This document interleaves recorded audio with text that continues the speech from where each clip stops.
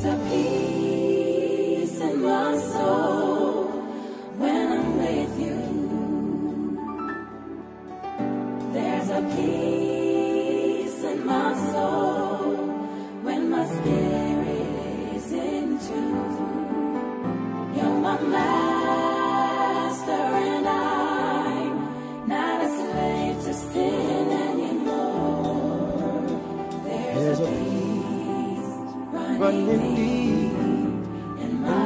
soul.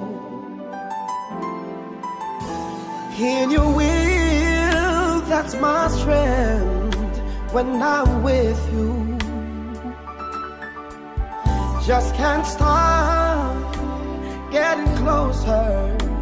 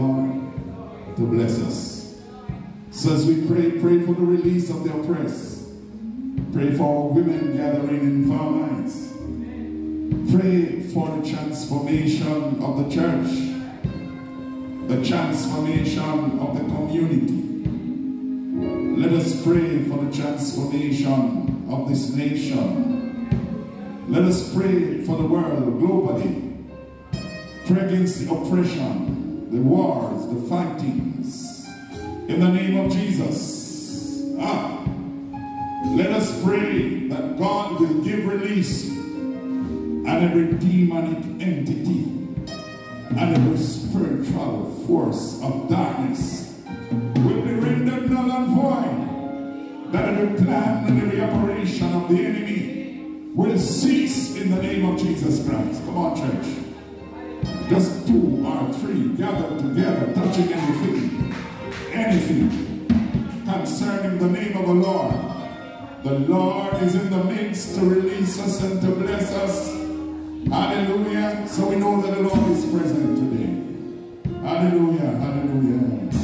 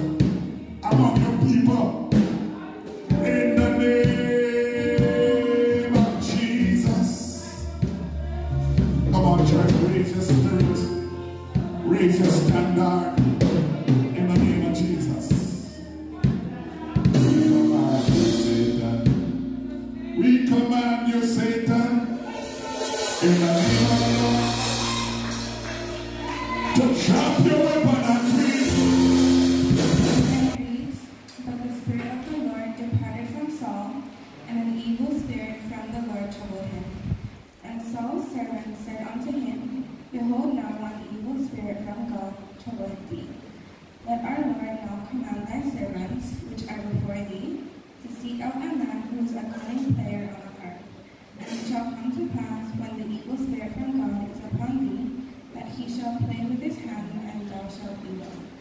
And Saul said unto his servants, Provide me now a man that can play well, and bring him to me. Then answered one of the servants, and said, Behold, I have seen a son of Joseph,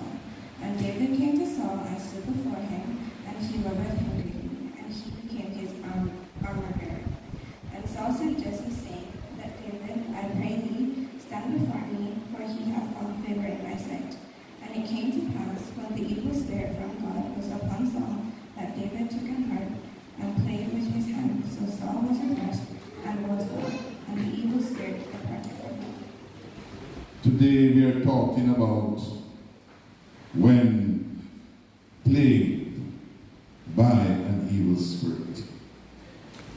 When plagued by an evil spirit. And I don't want you to view this today as a person who is demon possessed. But I want you to understand that sometimes you see some things happening to you, happening to your family, happening around you that cause you to be miserable, to have personality swings, mood swings, and all of these things that cause you and the persons around you to be miserable. Then it could be that you're being plagued spirit, though not possess you, but the spirit plaguing you, plaguing your family. Amen. Creating disruption for your life. And that's the vein in which we want to go today. Spirit of the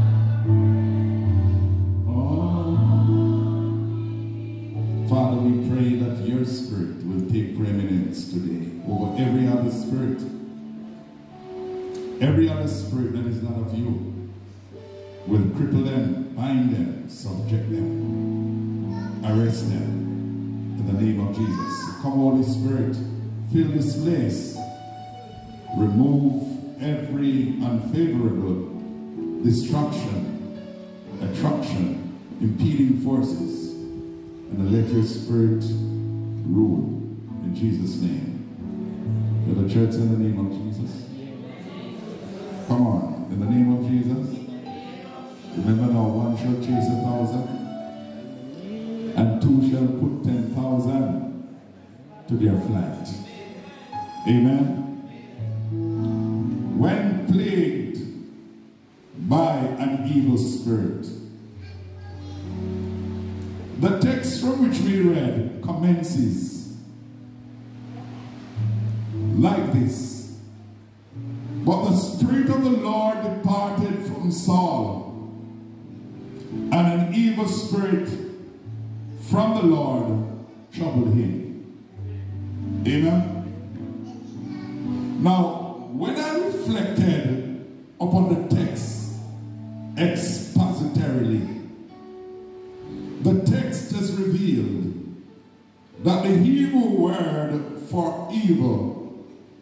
Here, as used in the text, is the word ra, R-A.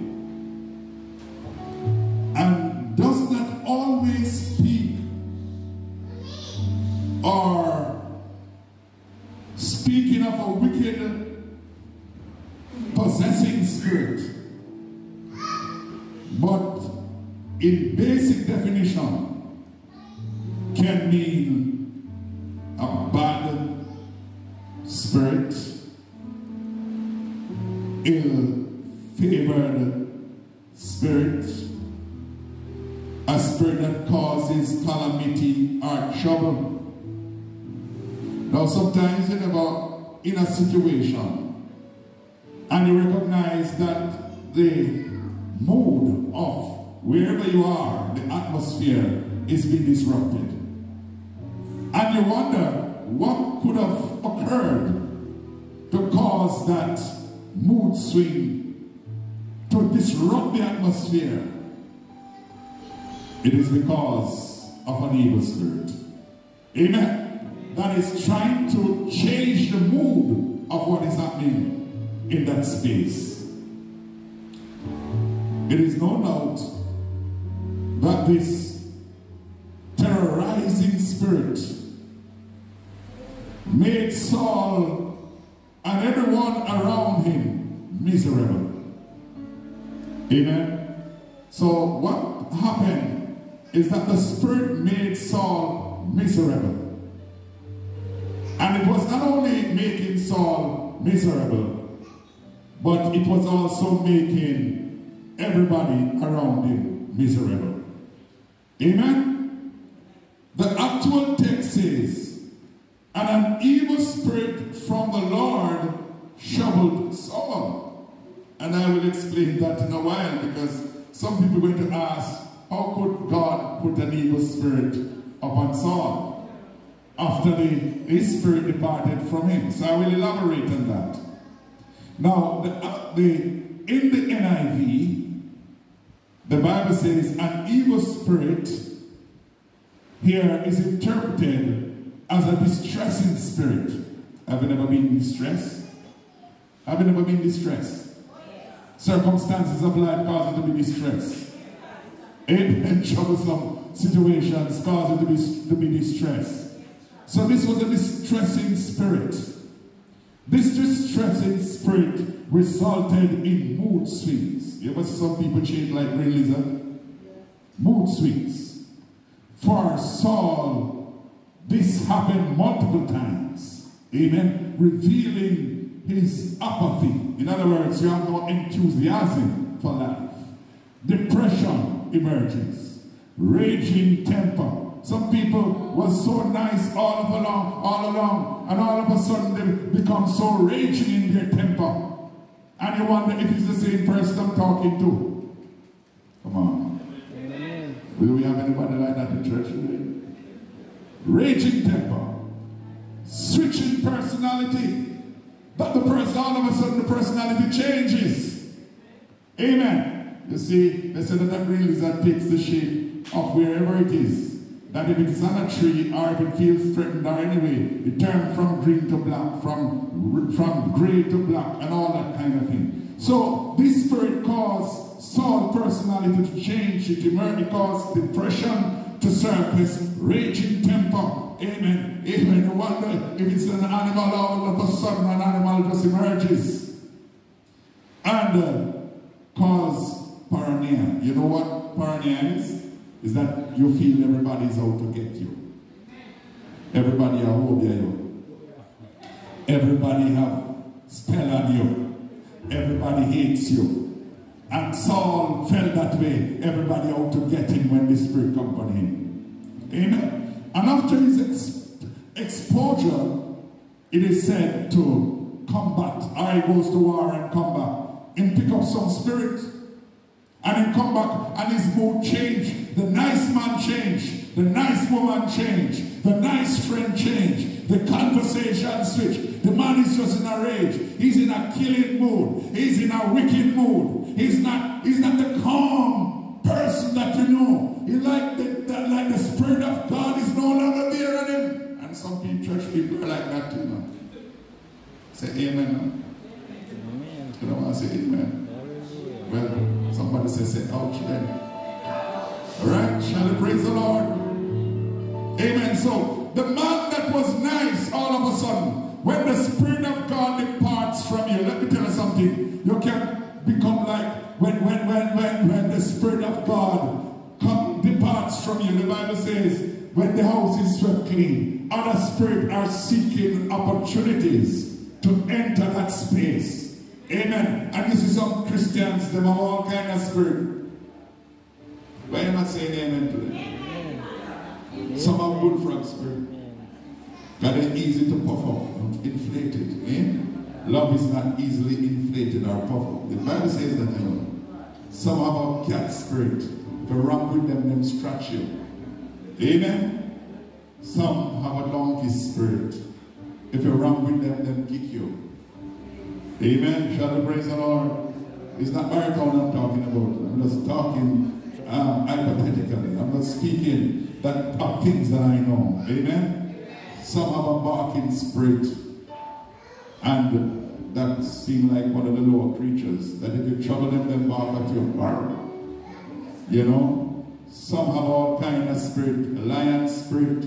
If you trouble them, they roar at you. You understand what I mean? Yeah, shall we praise the Lord? So this was the mood that Saul was going into, switching in and switching out. Amen. Many people would say, why would God put an evil spirit on anyone? But God does it to punish us for our acts of disobedience. Amen. And sometimes these things happen to us because we're disobedient. We're disobedient to the command of God. We're disobedient to the word of God. So God takes his spirit from you. And sometimes the Lord takes his spirit from you. All you can feel you're praying, but you're not getting the breakthrough. You're, you're, you're trying to feel the presence of God. But the presence of God is not there. You know why? It's because you've been disobedient. You're trying to please yourself and act in your own way. And as a consequence, God withdraws his spirit. And when God withdraws his spirit, automatically the devil sees an opportunity for his evil spirit to work. So Saul was charged with disobeying God's command by Samuel. And I want to take you to chapter 15 and verse 17 to verse 22. Amen. I may not read the entire um, um, passage, but you can read as we go through. And Saul said, When you were little in your own sight, was you not made the head of the tribe of Israel? And the Lord anointed you king over Israel. Right? So what Samuel was saying, when you were nothing, Saul, the Lord lifted you up, and the Lord made you king over Israel, and gave you prominence, position you. And then he goes on to say, Samuel goes on to say, verse 18, and the Lord sent you on a journey and said, Go and utterly destroy the sinners, the Amalekites, and fight against them until they become consumed. Right? And the Bible says in verse 19, Wherefore didst thou not obey the voice of the Lord, but but did fly upon the spoils and did evil in the sight of the Lord. So what the what Saul was, what Samuel was charging Saul with, said the Lord gave you a command. And the Lord said to you, Go and fight against the sinners. Go and fight against the Amalekite, the Amalekites. But what? As after you go there to fight the Amalekites, and then let somebody the money before you. Lord have mercy. So what he was actually saying, you know, is that when Saul went to fight the Amalekites, and he saw the fat bull there, and he saw the rosy heifer there, and he saw the possibility to get rich out of this situation, and took of the animals and said, listen, I am going to give a portion of it to God as a sacrifice. When God said, wipe them out. Lord have mercy. Shall we praise the Lord? Uh, and some of sitting down there and say, I saw that. But I saw somebody stay. You allow money to choke out the anointing.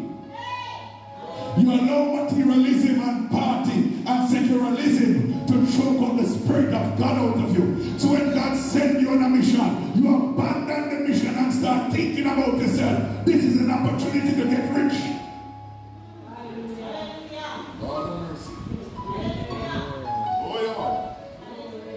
And so, what, what, what, what Saul did, when Samuel went to him and said, Have you killed the Amalekites? He said, Yes. Have you done what the Lord have taught you to do? He said, Yes. He said, Then, oh, how hear I the bleating of those animals in my ear? Where they come from? It's Amalekites cow you have in your backyard. Come on, church. Come on, church. There are some of you have Amalekite cows in your backyard because they come from the field of the sinner and the wicked enemy, and you come and take portion of it and pay tithes to God. God said, "Me no want it." A sermon that evening. Because when God asked me to preach it, say, God, I can't preach this sermon. I don't have a thought as to how to approach this because the first thing, I can't see how you put an evil spirit in Saul. And the Lord said, and this is why you're preaching. Shall we praise the Lord?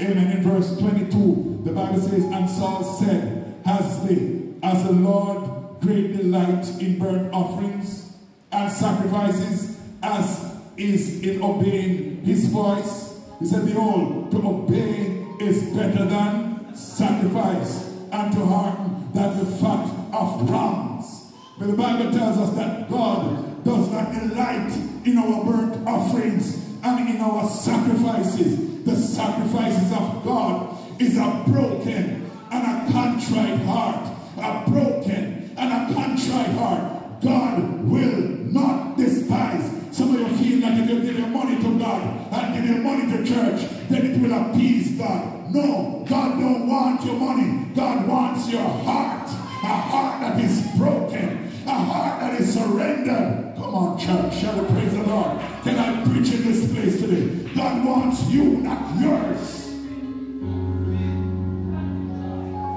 Amen. So Samuel charged Saul of disobedience.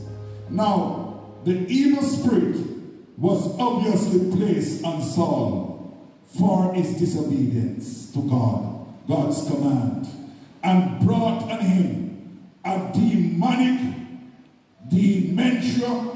that apparently could be soothed only by David playing of the harp. So when this evil spirit come upon Saul, the only thing that could help him is an anointed man of God, shall we praise the Lord, coming in his presence and bringing his spirit into worship that would break the spell of that spirit upon him. Come on, church. The evil spirit is said to come from God, although God is neither the, the author of evil nor tempts with evil. But all forces, natural, supernatural, are under God's ultimate control. So when you think that the devil control demons and all that, hey, how the devil control demons and all of that? How when them come in a church and possess people and we lay our hands on them and say in the name of Jesus, come out of here, them have to come out. Just tell you that God is in charge. Shall we praise the Lord? When Jesus met the man at the tomb, and when Jesus walked up to him, And he said, Oh, Jesus of Nazareth, son of David, you come to torment me before the time. And don't send us back to the abyss. Send us into the herd of swine. And Jesus commanded to go into the herd of swine. They had to obey. Shall we praise the Lord? Touch your neighbor and say they had to obey. So it is not the devil. The devil sometimes will allow these things to happen. But it is God who has the ultimate control of evil spirit. Amen. And so this is why God could cause and allow them to, to punish his disobedient children for acts of disobedience. This evil spirit upon Saul was a result of Saul's own doing and the entire episode was an outgrowth of Saul's sinful nature. So why, amen, we are saying that the spirit, amen, come upon Saul, the evil spirit came upon Saul. It was a result of Saul's own doing. Because if you are sticking to the commandments and the word of God and living according to God's will, no evil spirit can come over your soul. Lord of mercy. Shall we praise the Lord? So no evil spirit could have afflicted Saul. It was a direct result of Saul's own disobedient action that resulted in the spirit coming upon him. And so it was miserable. Because when you're not in God's will, you're miserable. Come on, church. When you're not walking according to God's word, you're miserable. Sometimes you think you could do to sin and come wipe off your mouth like a fowl and then everything will be all right, but you realize you're miserable. You can't live in it because only in the presence of God there is fullness of joy. You realize that the whole, the whole, um, the whole balance of your life is disrupted because you are not doing according to what God wants. Come on, church. Come on, church. So it is not the only time that God punishes his children for acts of disobedience. In 1 Kings 11 and verse 1 to 13, God also punished Solomon for his disobedience. Now in verse 9 the Bible says, And the Lord was angry with Solomon because his heart was turned from the Lord God of Israel, who had appeared unto him twice. God appeared, Solomon prayed, and to be brought down the presence of God in the newly constructed temple. And God showed him his glory. But Solomon turned from the Lord. His heart turned from the Lord. In verse 10 of 1 Kings 11 it says, and had, um, and had commanded him, and, and that which God had commanded him concerning this thing, that he should not go after other gods, but kept not that which the Lord commanded him. So the Lord said to him, Don't go after other gods. Amen. The Bible says in verse 11, Where the Lord said unto Solomon, For as much as this is done of thee, and you have not kept my covenant and my statutes, which I have commanded you, I will surely, amen, rend the kingdom from you and will give it to your servant. Amen. So the, the, the problem is that God was not going to take the kingdom from Solomon and give it to his servant. Can you imagine the king's kingdom taken from him and give it to his servant? Why? Because it is disobedience. And if you read disobedience, and if you read from chapter chapter 11 of First Kings and verse 1 down, you will see why. Because the Bible says, and Solomon loved many strange women. And God says, don't marry to the Egyptians. Don't marry to the strange, um, to those women from those strange idolatrous tribes, the Midianites and so on. And Solomon loved many strange women. He loved women so much that I'm not saying man must not love woman and a brother it. Don't get me wrong. Shall we praise the Lord? Because I don't I would not like to love somebody else of your own kind. Amen. Shall we praise the Lord? It's about Solomon loved many strange women to the extent that he had 700 wives. That's enough woman. Shall we praise the Lord? 300 concubines, read the earlier verses. That's 1,000 women. Then he had princesses and maidens. Why am I doing so much woman? It is 365 days in a year.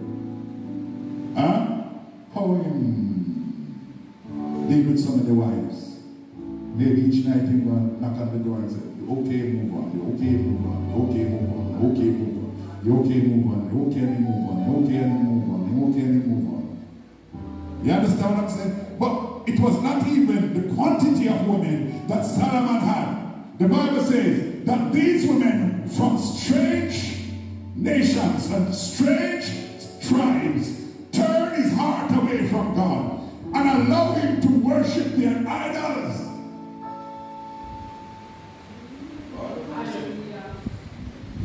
To the extent that Solomon built temple. That's why the Bible says you must not be unequally yoked. You must not be unequally yoked because if people's principles and value system different from your value system, they are going to want to lead you into a pathway that you should not go, and they will turn your heart away from God. If you say amen, you know, can we done say when we are say already, shall we praise the Lord? They will turn, and that's precisely what happened to Solomon. He turned his heart away from God and he started to worship their idol. So when Solomon should be in church on Sunday, him up on the mountains and worship to Baal and all of these other idols, when he should be obeying and worshiping God. The blood of Jesus. The Lord said, I will punish you, Solomon. Amen. And some of us, you know, some of us like we are so gullible. Amen. Devil put a little string around my neck. And we see some bling bling and ray ray. We see must let me tell you something. If it is not God giving you the blessing, don't take it. It will turn your heart away from God. You will lose the command which God has given you. You will abort your mission for material and financial gains and serve other gods apart from the true and the living God. In the name of Jesus Christ, if you find your way going after these gods, turn around and say, I have wandered far away from God. Now I am coming home. The path of sin, too long I have trod. Now I am coming home. When plagued by a negative energy and an evil spirit, what should you do? Amen. What should you do? One, you have to align yourself with an anointed one or with the divine anointing. Shall praise the Lord? For when you find yourself in that position, only the Spirit of God through an anointed person can break it off you. Amen. When you find yourself a good mother father and a, and a sprinkle blood and a, and loose powder and oil that is a demonic entity and you're so captivated that the devil hold you. Only Jesus Christ through the anointing can set you free. So, the Bible tells us in verse 17 and verse 18, and Saul said unto him, his servant, Amen, provide me now with a man that can play well and bring him to me. Then answered one of the servants of Saul, Behold, I have seen a son of Jesse, the Bethlehemite, that is cunning in playing, and a mighty valiant man, and a man of war, and prudent in matter, and, and comely person. And the Lord is with him. That is the key. Because he could be a woman of war. He could be prudent in many matters, but did not have God. And it was talking about David. The, the, the man said, one of the things that I notice about this man is that the Lord God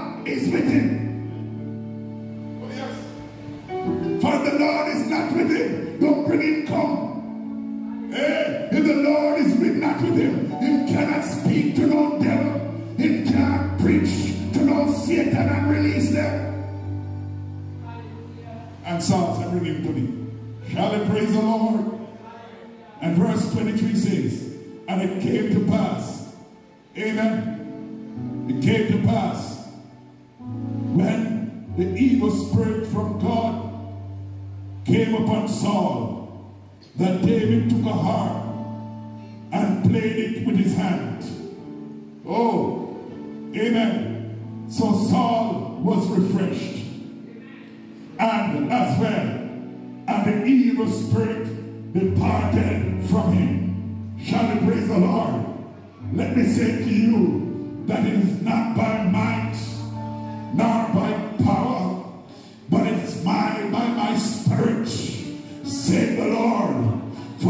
by the anointing that Jesus breaks the yoke. It is by the Holy Ghost and power, just like the prophet spoke. And this, these are the days of the latter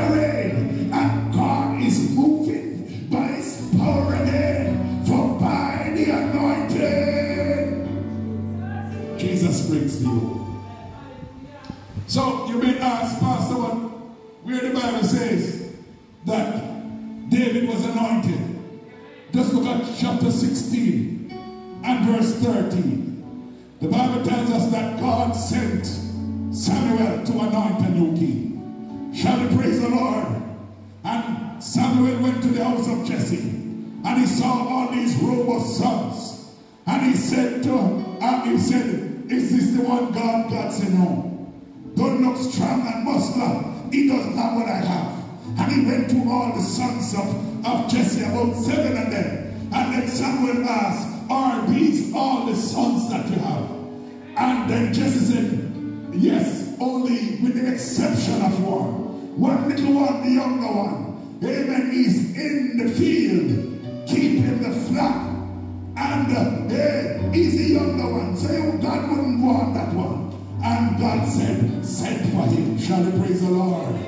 And when David walked up, because David was little and chubby, David was not so significant among his brethren. Yes, but when he walked up, God said, That is the one. You know why that was the one? Because it is the anointing that makes the difference. Shall we praise the Lord? It is not your eloquent speaking. It is not your your your your prowess or your financial ability. It is not your intellectual ability. It is not your your physical physique. It is the anointing that breaks the yoke. Shall and praise the Lord? Can we praise the Lord in the house? So the Bible says in verse 13, and Samuel took the horn of oil and anointed him in the midst of his brethren. And the Spirit of the Lord came upon David from that day forward. So Samuel rose up and went to Ramah. And that, that, that's what I'm trying. Once he was anointed, I am anointed to put the devil under my feet. I am anointed,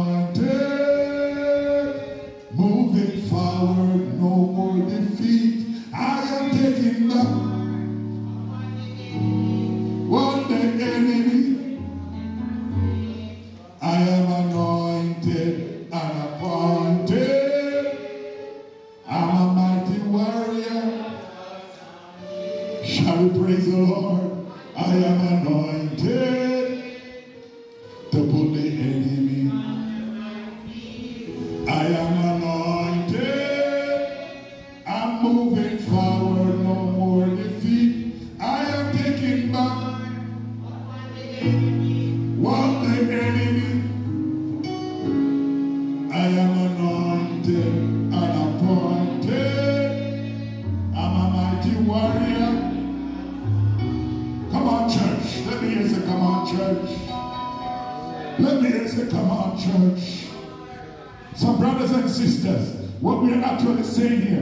that one and David stepped into, amen, the courts of Saul. And when he held that harp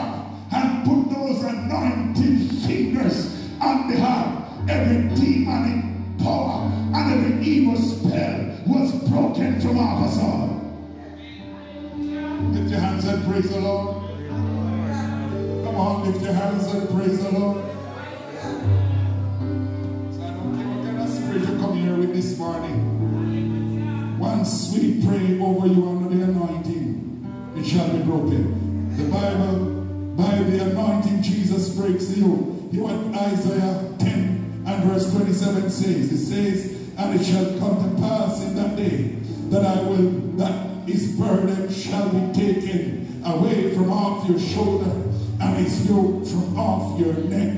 And the yoke shall be destroyed because of the anointing. Amen. The yoke shall be destroyed because of the anointing. No care what is over you. The yokes shall be destroyed because of the anointing.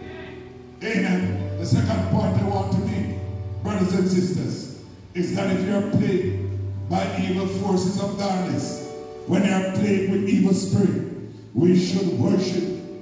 Amen. And use it as a vehicle to usher us into God's presence, where there is freedom and fullness of joy. For Psalm 16 and verse 11 says, In his presence there is fullness of joy, and at his right hands there are pleasures forevermore.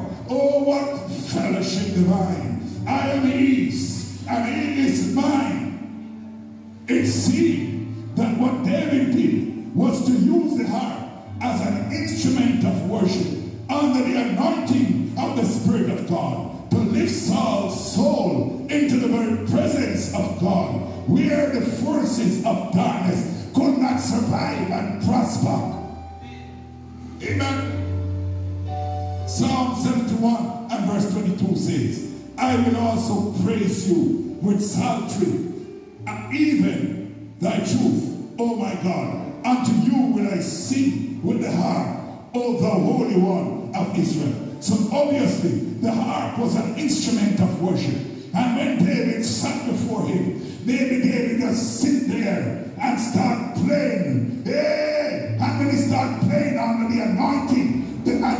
Worshiping the Almighty God. Oh yes, maybe start quoting one of his songs, saying, I will bless the Lord at all times. His praise shall continually be in my mouth. My soul shall make me boast in the Lord. The enemy shall praise the Lord. They shall hear of the goodness of the Lord. Yeah, maybe saw when he played. Him played said, I will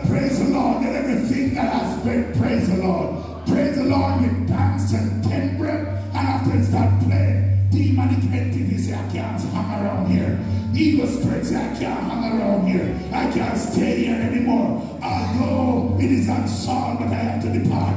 I have to take, I have to say so long, bye-bye. Come on, church. So worship, worship, true worship will break the spell of evil spirit. Shall we praise the Lord? The next point I want to make, and this is my final point, is that when played by an evil spirit, not only should you align yourself with somebody that is divinely anointed and appointed and with the anointing, but and not only should you engage in true worship, but you should pray.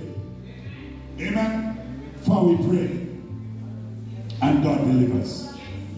We pray, and God stop the war. We pray, and God give us one more chance. Shall we praise the Lord?